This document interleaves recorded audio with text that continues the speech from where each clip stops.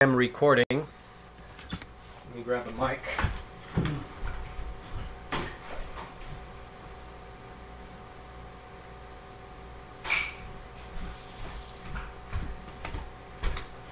All right, so welcome everybody to the September 4th meeting of the developer team. This is the second week of the OSE immersion program.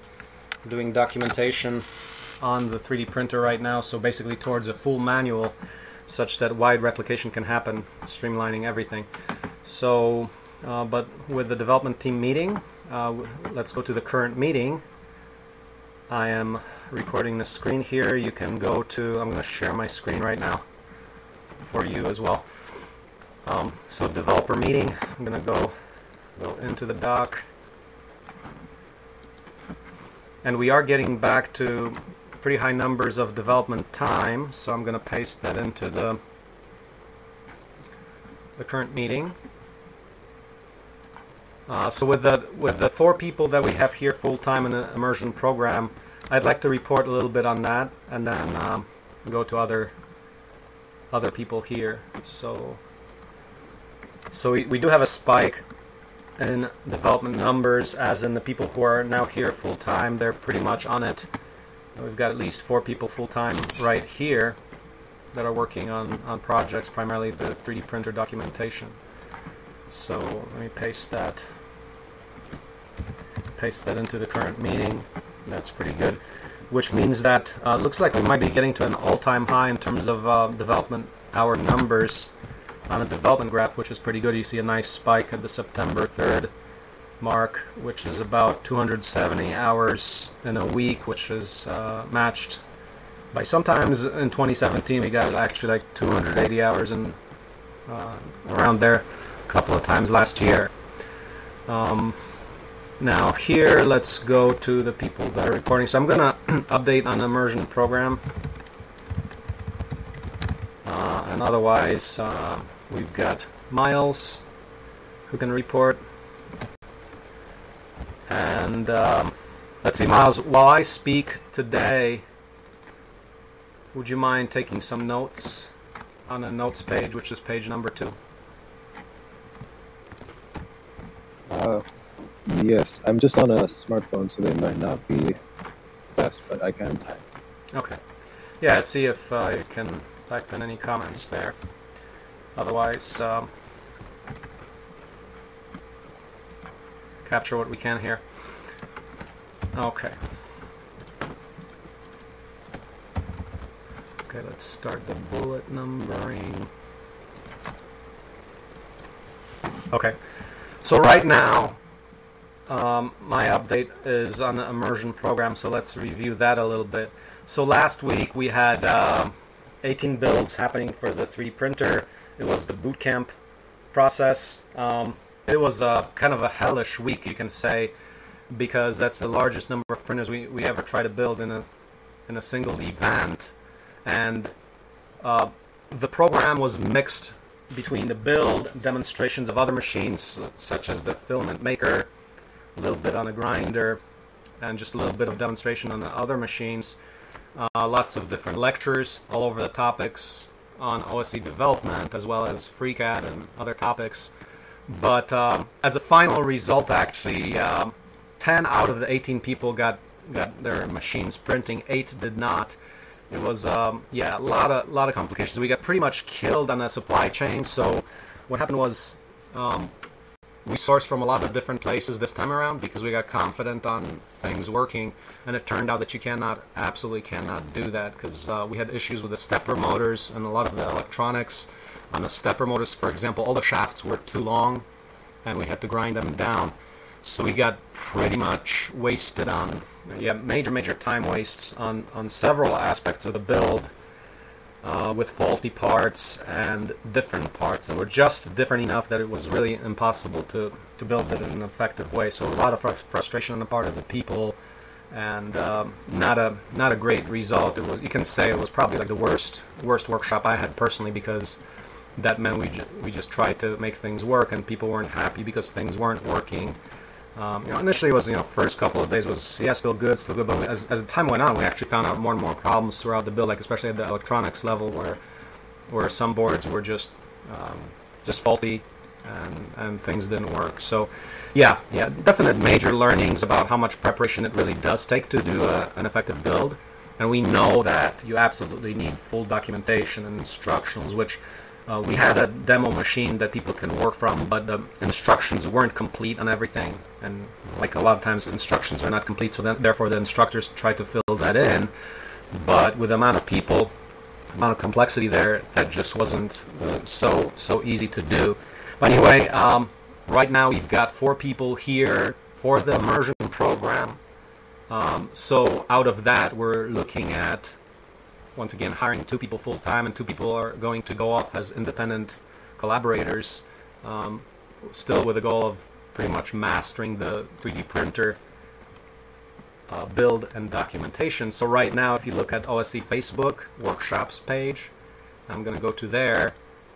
Um, you can see the start of a full full manual, and we're doing different layers for the manual. The first layer, there being uh, how things work, uh, there's the instructional layer, there's the quality control layer, and so forth. So if you click on some of the recent posts on OSE Workshops Facebook page, you can access the, the manual that we're putting together. And it's going to be something like a few hundred pages long for, for detailed instructions of how, how 3D printer works and, and how you put it together. So that's pretty good. We're working on it right now, and we're going to continuously publish uh, be publishing that today and, and probably next next couple of days until we get that thing done. And then the next step is for our people here to basically take that as the full quality control procedure and a full full documentation that that in itself can serve as a guide for going A through Z for uh, through the 3D printer. So the the ultimate metric of success is that I'm not needed there. I mean, typically I'm, you know, uh, in this workshop, of course, I had to, I was guiding it, but ideally we, we send our four people right here to do a complete build where then I can come back and say, say okay, well, um, this was completely done perfectly because we're documenting the, the procedure and the quality control checkpoints that people get familiar with the machine inside out. So that's where we're at, which is kind of like the highest level of, of um, training or, or, documentation that other people are now getting subjected to. Uh, you know, while I know that knowledge pretty much inside out, um, the trick is how do you teach that effectively to others so that others can replicate the builds independently and run workshops independently in other locations. So that's where we're at. Uh, you can look at the OSE Workshops Facebook page uh, for more info. Like for example, today we're doing um, the ax axes um, where once again it's quite impressive and there's 14 unique parts for each of the axes so the entire motion system con contains only 14 unique parts. The 14 unique parts plus the frame plus the electronics make up the whole printer so so that's um, we're really good on a low part count. And aiming to uh, get this ready for wide, wide replication uh, around the world. So that link there is um, I'm to paste in that link. Yep. So that's where we're at. Um, yeah, lots of good learnings. And, and as, as planned, we're to be uh, publishing our new website for the 3D printer relatively soon. We will be holding the next immersion training in April and May as planned. So we're going to continue with that and just refine the program uh, more. We got a new floor with hydronic heating inside the Hab Lab, so we're doing facility improvements, and every time we do the immersion program, we make some kind of an improvement uh, to the facility here so we can house people year round for, for a rich learning experience in our program. Uh, that's pretty much my update for the uh, for the week of the boot camp. So right now we have four more weeks of the immersion program, and from there, people will be going to different locations, namely right now California and Chicago, to run workshops with OSE full-time, do 75% research and development full-time, while running workshops about 25% of the time. That's the goal of the immersion program, as far as what we're doing here. So, yeah, yeah, that's uh, that's it for me. So maybe Miles, you can um, continue to update us where you left off. Let's see where you are. Um, so uh, I added a slide uh, kind of providing a short tutorial of how to build a little power supply circuit and Uh-huh. to to simulate it, do a transient simulation and kind of see what's going on.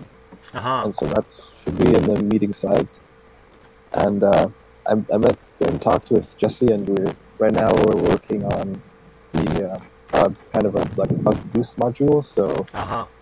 we're working on the code for the to control the pulse width modulation and learning more about about the design and yeah, with the goal of creating a design and prototype. Excellent, excellent. Let's see, maybe we could, uh, let's see if we can play that video just to show what we've got there. Let's see. Uh, can you, let's see, how do I get that to play? Uh, I think I have to go into view mode. Hmm. Uh, view present. I think I gotta go into present mode. Let's see if that plays here. Yeah, yeah, it does. So actually, I can escape out to YouTube and take a look at this video. Let's take a look at it. So you're in Cukes. Is that how people call it? Cu- Cukes or? Uh, I'm not sure. I've never heard anybody say it. So Yeah. it's- sounds weird. Yeah. Does that have sound in it, or are you just showing? You're just showing the No, there's no sound. no sound. There's a few. There's a few text pop-ups to just kind of give give a little more detail in terms of like uh, keyboard shortcuts and stuff. like. Uh huh. So what you're doing there is basically that has all the all the components in there that you can essentially simulate. And yeah, that that's really good. So can you actually do circuit design within Qucs as well? So instead of using KiCad? Uh, yes, and I found uh, a tool that's supposed to convert KiCad schematics to, or sorry, Qucs, Qucs, Qucs schematics to KiCad. So I haven't Oh. tested it yet, but if that works, that would be really good. Oh, that's that's excellent because then we can do the basically have a, a simulation tool chain built right into the KiCad workflow. That's pretty good. Uh huh. Okay, that's excellent. So, for example, that that that's going to be a bridge, a rectifier bridge there. Mm-hmm. Yeah, You're just making connections relatively easily.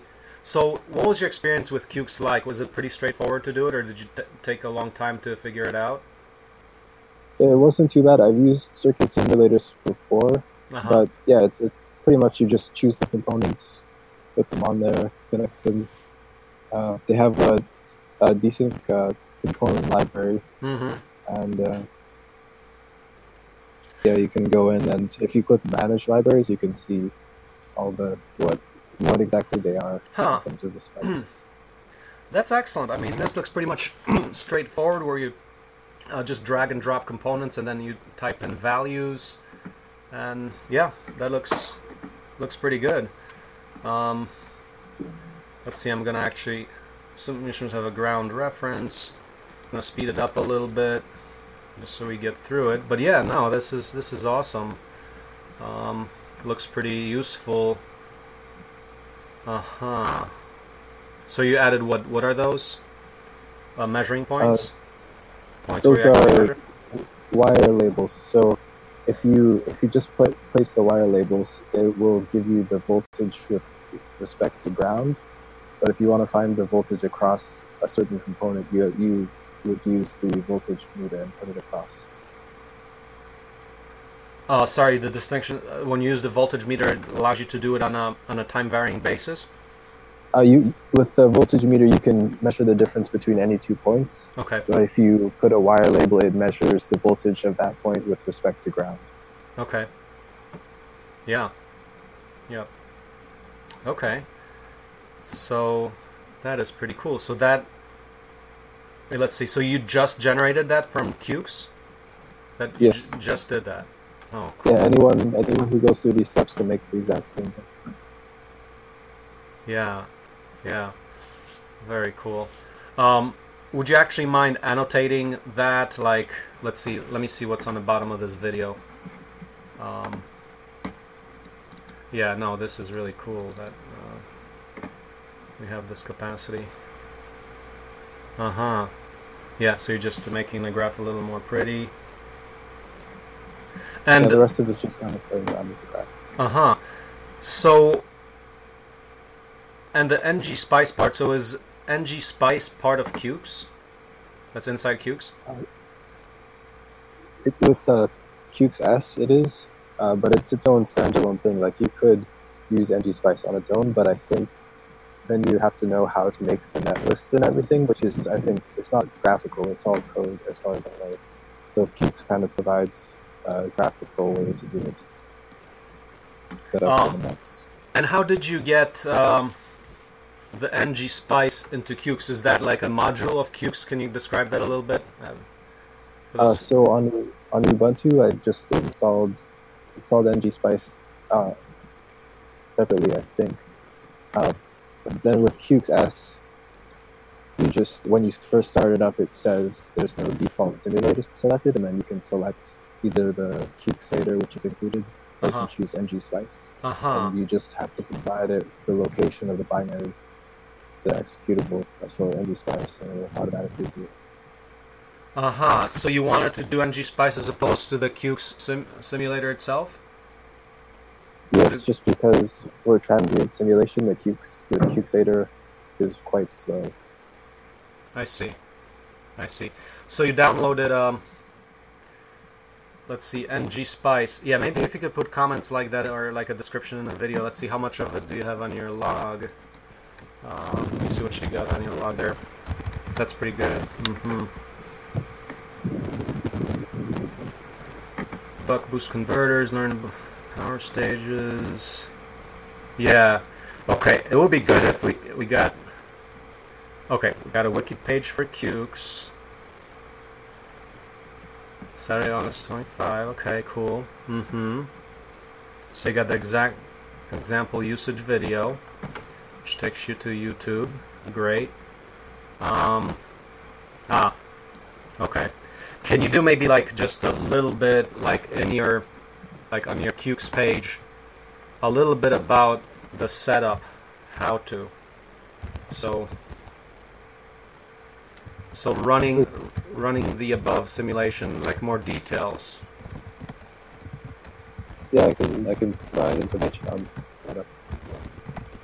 Yeah, like how do you install ngSpice and where do you get it, links to that and so forth. Um, yeah, yeah, that's that's awesome. Um, more yes, if you can maybe do a little more details.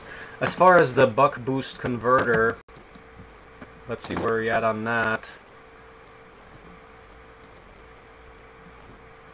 So far, it's mostly just learning on my side. Um, Jesse has has put together some code for the pulse width fluctuation. Aha, using Arduino. Yes, I think so. Okay. So basically, and what is the? Do you know the limit of normal PWM on Arduino? Is that about a kilohertz or 100 kilohertz? Hello, it's It seems like a Silver Term. I'm little over a review about a 100 kilohertz, I think. tool that I picked up recently called 132 was the li- kilohertz was the limit that someone said. Uh huh. Is that 132 kilohertz? Is that readily accessible, or do you have to do some tricks? Or Uh, I'm not sure. It shouldn't be too hard though. yeah, well that would be yeah that would be definitely good for I mean, possibly even the induction furnace. We'll see if we can do that. Yeah. Hmm. So design. This page is a good guide. Yeah. And and the process on that. Are you actually trying to simulate that within Qucs as well? Uh, yes. Right now I'm reading just uh, a tutorial on on buck boost converters, but then yeah, the next step will be to do a simulation and see if I can design something that does what we want, and then it'll be yeah, prototyping and testing. Okay. Okay, that sounds good. Um, copy image to our dev demo. Um, do a funny paste in there. Okay. Yeah, yeah, that sounds good. Um, That's excellent. Excellent. Um, let's see. I guess nobody's in on a meeting at this time, so let's see what else to talk about here. So for anyone who's listening, um, what else to say? We are, um, yeah. So as we said on on the front of the documentation for the the 3D printer, our next step then is to publish the full manual, and we'd like to have different people feedback on it to see if it's uh, if people can actually understand it fully. And this should be like the you know the ultimate version. We've got five people working on it here full time right now. Uh, Miles, also, if you want to take a look at it, were you um? Hello. Yeah. Who, yep. Oh, sorry, I just I just dropped out for like a minute. Oh, okay. Okay.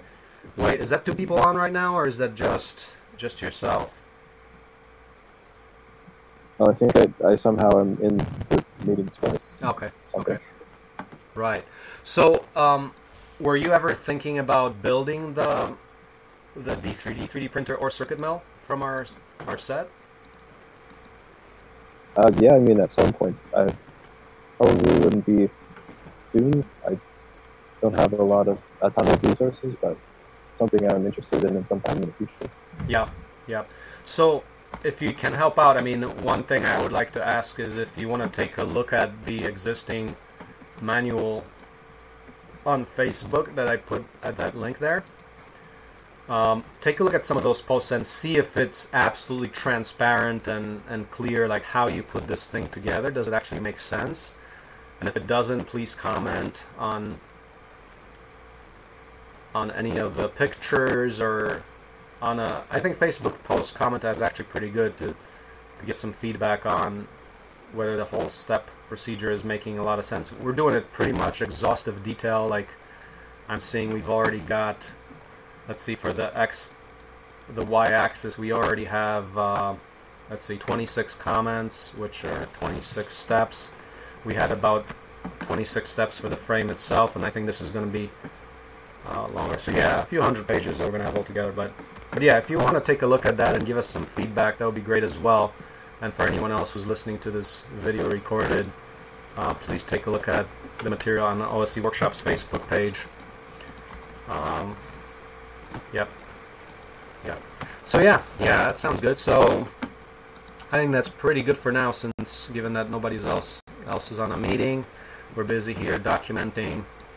So let's um let's do it again next week. I think uh, for us here, since we've got the immersion program launch time here, like 12:30, is good for us. Uh, so yeah, does that work for you next week, Miles? Yeah, it should be good. Okay. Okay. That sounds good. And do you have any any other questions or anything on? Uh, no, it's great. Okay. Check out the documentation. Yeah, yeah, that would be good. So pretty good work. Thank you for doing that. Uh, it seems like that totally fits with the with the KiCad workflow, and, and it's relatively easy to learn. So we'll see. We'll see about that. Okay. Okay. Well, that's um, that's good for now. So thank you. Then we'll meet again next week at 12:30. I'll send out an email to everybody, letting people know that we want to shift the time up to the 12:30 a little earlier, which means lunchtime here. So as we have the immersion program going for the next four weeks as well. So, yep. Um, yeah. So thank you very much, then, and we'll talk again next week. Let's do that. Okay. Take care. Bye bye.